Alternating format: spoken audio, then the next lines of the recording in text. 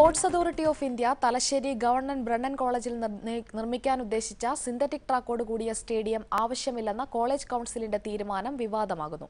ഇടത് അധ്യാപക സംഘടനയുടെ എതിർപ്പാണ് സ്റ്റേഡിയം നിർമ്മാണം തടസ്സപ്പെടുത്തിയത്. മലബാറിന്റെ കായിക വികസനത്തിന് കനത്ത പ്രഹരമാകുന്ന തീരുമാനത്തിനെതിരെ സി ജനപ്രതിനിധികളും സ്പോർട്സ് കൌൺസിലും രംഗത്ത് വന്നുകഴിഞ്ഞു കേരളത്തിന്റെ കായിക രംഗത്ത് മികച്ച സംഭാവനകൾ നൽകിയ സ്ഥാപനമാണ് തലശ്ശേരിയിലെ ഗവൺമെന്റ് ബ്രണ്ണൻ കോളേജ്. അടിസ്ഥാന സൗകര്യങ്ങളുടെ അപര്യാപ്തത കാരണം പലപ്പോഴും ഈ നേട്ടങ്ങൾക്ക് തുടർച്ചയുണ്ടാക്കാൻ കഴിയാറില്ല. മലബാറിലെവിടെയും സിന്തറ്റിക് ട്രാക്കോട് കൂടിയ സ്റ്റേഡിയവുമില്ല. ഈ പോരായ്മകൾക്ക് പരിഹാരമായാണ് സായിയുടെ നേതൃത്വത്തിൽ ബ്രണ്ണൻ കോളേജിൽ എട്ട് കോടി രൂപ ചെലവഴിച്ച് സ്റ്റേഡിയം നിർമ്മിക്കാൻ പദ്ധതിയിട്ടത്. കോളേജിന് പുറത്ത് ഉപയോഗശൂന്യമാക്കിയിട്ട അഞ്ചര ഏക്കർ ഭൂമി പാട്ടത്തിന് നൽകിയാൽ സ്റ്റേഡിയം നിർമ്മിക്കുമെന്നായിരുന്നു സായി അറിയിച്ചത്. ഇതിന് കോളേജ് അധികൃതരെ സമീപിക്കുകയും ചെയ്തു. ഫുട്ബോൾ കോർട്ട് സ്വിമ്മിംഗ് പൂൾ എന്നിവ ഉൾക്കൊള്ളുന്നതാണ് സ്റ്റേഡിയം. പത്ത് വർഷം കഴിഞ്ഞാൽ കരാർ കോളേജിന് ആവശ്യമെങ്കിൽ റദ്ദ് ചെയ്യുകയും ആവാം.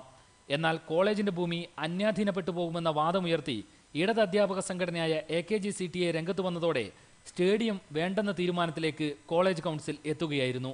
ഈ മലബാറിനകത്ത് എത്രയോ താരങ്ങളെ സംഭാവന ചെയ്തിട്ടുള്ള ഈ മലബാറിനകത്ത് ഒരു സിന്തറ്റിക് ട്രാക്ക് ഇല്ല എന്നുള്ളത് ഇവിടുത്തെ ജനങ്ങളുടെ ആവശ്യമാണ്. അത് മനസ്സിലാക്കാൻ വേണ്ടിയിട്ട് വണ്ടൻ കോളേജിലെ അധ്യാപകന്മാർക്ക് കഴിഞ്ഞിട്ടില്ല എന്ന് പറയുന്നത് ലജ്ജാകരമാണ്. ഇത്തരത്തിലുള്ള ഒരു തീരുമാനമെടുത്തിട്ടുള്ള കൗൺസിലിന്റെ തീരുമാനം പുനഃപരിശോധിക്കാൻ വേണ്ടിയിട്ട് തയ്യാറാവണം. ഇരുപത്തിനാലംഗ കൗൺസിലിൽ പതിനാല് അധ്യാപകരാണ് സ്റ്റേഡിയം വേണ്ടെന്ന നിലപാടെടുത്തത്.